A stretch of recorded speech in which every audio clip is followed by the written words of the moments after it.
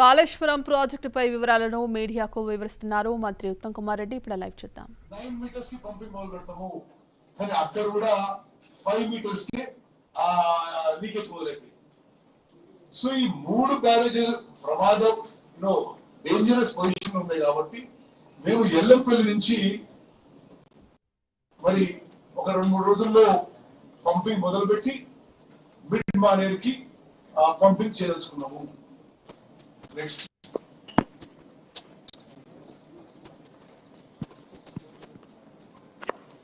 Next తొమ్మిది నుంచి ఎన్ని టీఎంస్ వస్తుంది సార్ పర్ డే చెప్పండి సెకండ్ కంప్లీట్ ఓకే ఇప్పుడు ప్రాణహిత చేవల్ల ప్రాజెక్ట్ నుంచి ఎందుకు ఇది మార్చింది? ఎందుకంటే బేసిక్గా దీన్ని basic project basic project redesign ఎందుకు జరిగింది అనేది ఒకసారి జ్ఞాపకం చేసుకోవాలి. సెంట్రల్ వాటర్ కమిషన్ అంటే ఇది ఆనాటి ప్రభుత్వం అఫీషియల్గా చెప్పింది. సెంట్రల్ వాటర్ కమిషన్ ఇక్కడ నూట అరవై టీఎంసీలు లేవు అని చెప్పినట్టుగా గత టిఆర్ఎస్ ప్రభుత్వం అధికారికంగా పేర్కొన్నది. ఇది పచ్చి అబద్ధము. సెంట్రల్ వాటర్ కమిషన్ ఎప్పుడు కూడా సెవెంటీ ఫైవ్ పర్సెంట్ డిపెండబిలిటీ మీద అక్కడ తుమ్మడి దగ్గర one sixty five TMC project సాధ్యం అవుతుంది అని చెప్పింది.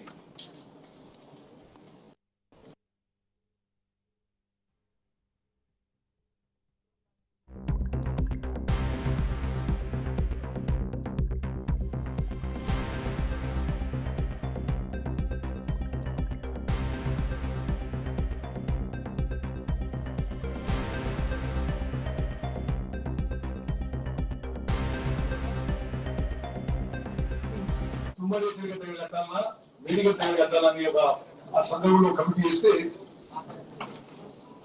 ఆ కమిటీ కూడా ఆ కమిటీ కూడా మేడిగడ్డ దగ్గర ప్రాజెక్ట్ కట్టద్దు. అక్కడి నుంచి మిడ్మానేర్కి నూట అరవై టిఎంసీలు లిఫ్ట్ చేయాలంటే అది not desirable due to its prohibitive cost and time consumption అని చాలా స్పష్టంగా మరి ప్రాజెక్టు మీరు తొమ్మిది నుంచి వేడిగడ్డ షిఫ్ట్ చేసుకున్నప్పుడే చెప్పడం జరిగింది.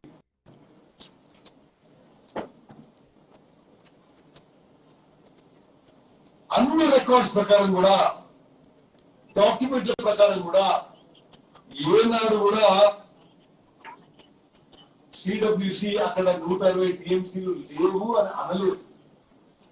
ఇన్ఫాక్ట్ చాలా సంవత్సరాలు సిడబ్ల్యూసి రిపోర్ట్లో తుమ్మనేటి దగ్గర సెవెంటీ ఫైవ్ పర్సెంట్ డిపెండబిలిటీ మీద వన్ సిక్స్టీ ఫైవ్ టీఎంసీ అందుబాటులో ఉందని చెప్పడం జరిగింది ఓకే నెక్స్ట్